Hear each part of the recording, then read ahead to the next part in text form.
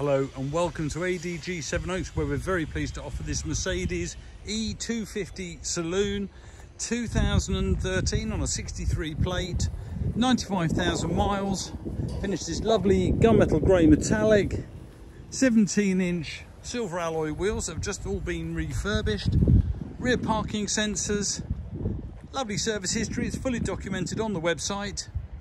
And the car comes with two sets of keys. In lovely condition Let's go and have a look at the interior. We've got a full black Artico leather upholstery, part electric front seats which are heated, black carpet, electric power folding door mirrors, electric front and rear windows, automatic lights, leather multifunction steering wheel with paddles, COMAND satellite navigation, radio, CD, USB, dual zone climate control, Bluetooth telephony. So great spec car. And